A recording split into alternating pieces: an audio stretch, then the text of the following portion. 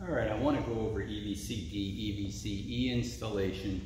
So we have the remote control, which has the push button panel in it, has the HCU in it. So inside on the back, you can see where all your connections go. This being a single lever with a power trim for a stern drive, only has one side, has the actual pins in it. The rest is just filled with silicone. So it only has one HCU in it.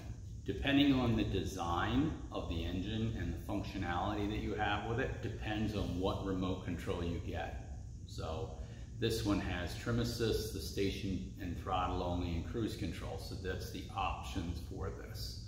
Other options have different buttons. You can see a couple are blank, depends on if you have a single or twin. So installation of this is very simple. There's a template. You put the template on the dashboard.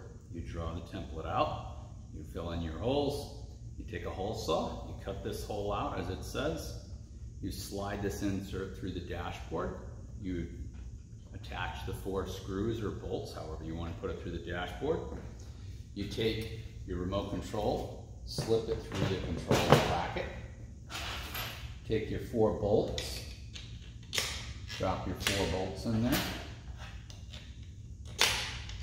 right into the bracket.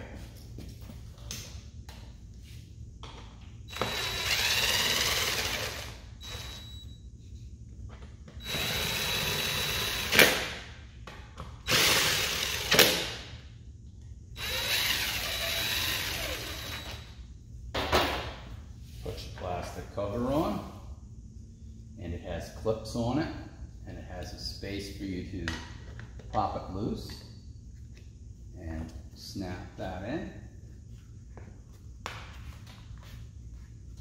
And that's it. It's installed. So the connections on the back side are very easy. You have your X2 data link. So when I tilt this up, I have my X2 data link. Now those connections, right, you can't see if it's installed. So really an installation poster comes into play here, okay?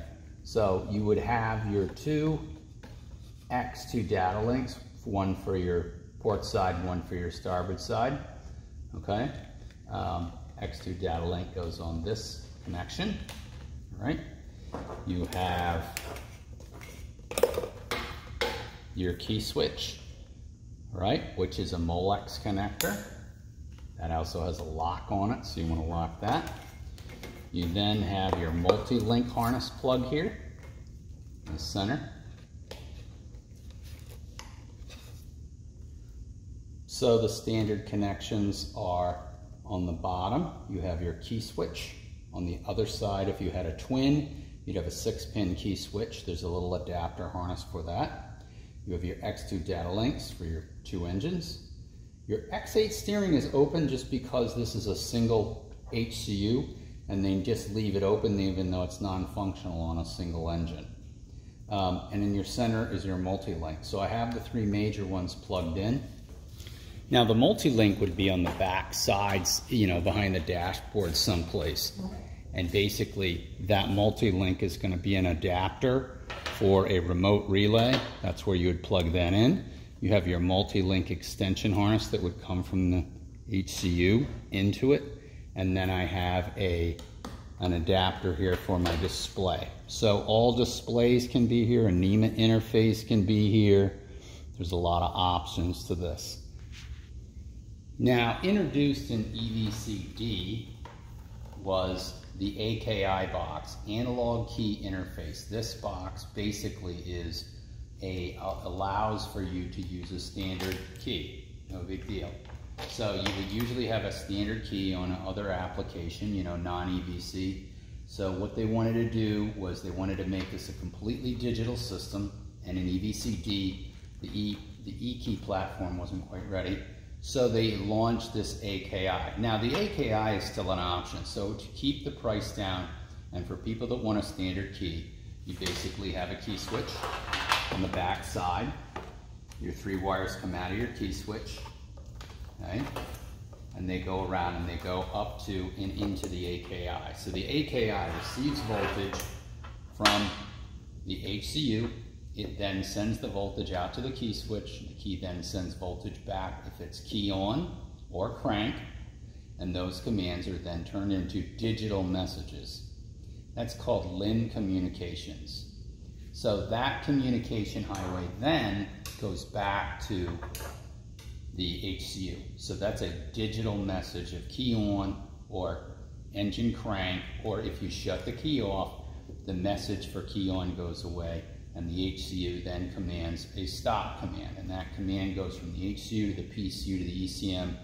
Then the ECM shuts the relays off and that will shut the engine off on a gas product. We'll get into EVCE in a little bit.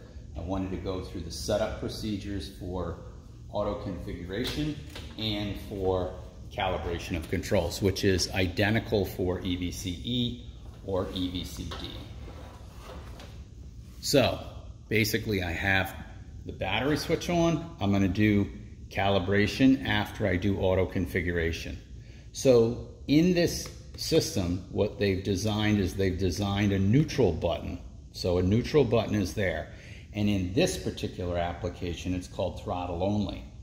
On a side mount control, there is actually a neutral button on the side mount control. This will control two HCUs if you have twins. So when you do your calibration, you can do it simultaneous with both levers. So I'm simply going to turn the key on, wait for the system to power up,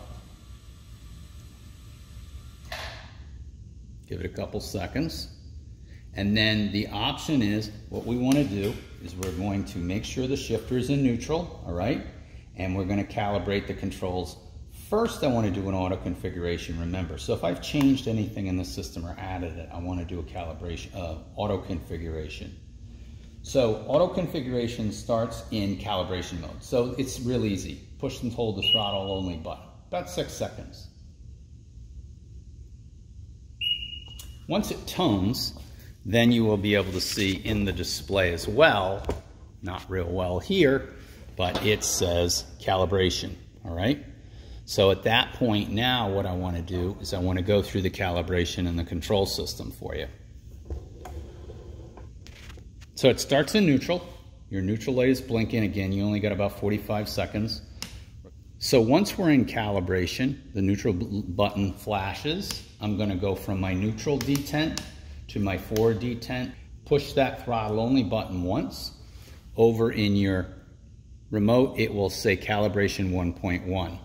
Then I go to full throttle, same thing we did in the other ones with a neutral button. Push your throttle only button, one, two.